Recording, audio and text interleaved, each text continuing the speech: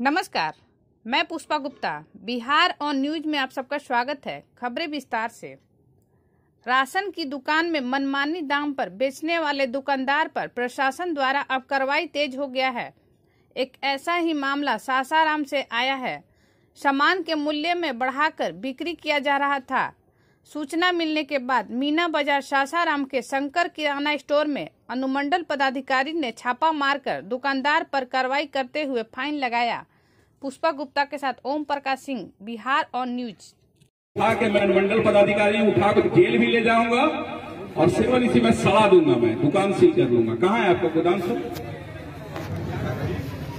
वही नहीं कहूँगा आपदा के तहत भी हम आपका केस करेंगे। आपदा एक्ट में भी केस करेंगे। सर। मिनिमम फाइन होगा तो पाँच लाख। समझ गया कि नहीं? बोला चीनी के कैसे? बोला। ऐसे नहीं तू जान रहा है नहीं जान रहा है तू। नहीं जान रहा है तू। किलो बताओ किलो। पच्चीस सौ बड़ा किलो बताओ। एक साल तक कुछ सुनवाई ही नहीं होगी जेल पर।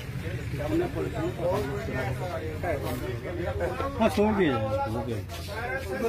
अरे किलो कैसे दे? छत्तीस रुपए किलो हैं झूठ बोल रहे हैं एक चिमचिमी रखा होगा सर। इधर आओ बोलते इस फाइन करूँ फाइन करूँ पोलोथीन का। चल जो हम